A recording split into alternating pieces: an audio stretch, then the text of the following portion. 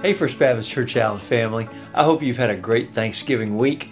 A lot of you have been traveling. We've been traveling, and it is great to uh, get to be with friends, with family, and to celebrate all the things we're thankful for. We often counter deficits, but isn't it great to be able just to be reminded? And I tell you, I love being with my family, and I love my friends, and, and I'm thankful to God for our church family and, and what you all mean to me and to my family. I'm thankful for God's blessings and His provisions.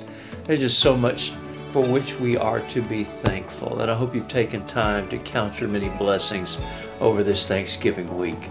This Sunday, we're looking forward to a new series of messages because as we move toward Christmas, we start out often the last Sunday of November with a sermon that points back it points to the promises of God that a Messiah would come. And that's what we're doing here. The series is going to be called, all the way through the Christmas season, The Colors of Christmas.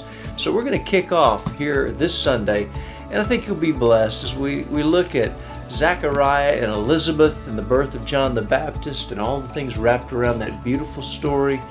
And uh, it's a story of hope and a story of waiting and a story of God showing himself powerful. I hope you'll be a part of it. If you still have family in town, bring them to church with you. We have one worship hour this Sunday, 1030. Uh, Bible fellowship groups, not going to be meeting this week for the most part. Just come on, join us for worship, and I think you're going to be blessed. Let's finish out this Thanksgiving season with thankful hearts to our Lord.